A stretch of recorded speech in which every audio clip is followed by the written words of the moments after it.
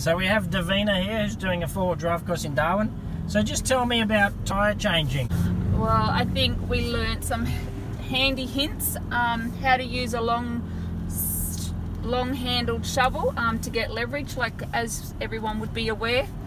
four-wheel drive wheels are extremely heavy um, and to learn a helpful hint like that how to get it off the back or even to put it on even like lining up a four-wheel drive like the actual tire um, it can be like I don't want to say women are weak but you know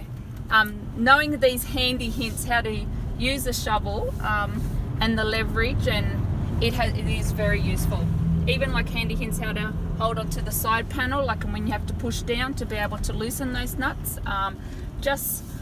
you know, it's good OH&S for you to be aware of these little tips that can assist you in changing a tyre. But yeah, in my job I can end up anywhere across the top end, Katherine Roper Gulf region, um, across the Kimberleys, so